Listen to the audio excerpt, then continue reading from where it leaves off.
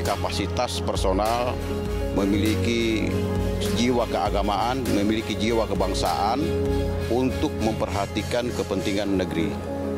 Sehingga Jokowi sangat cocok karena beliau adalah presiden yang hari ini telah memakmurkan dan mensejahterakan Indonesia.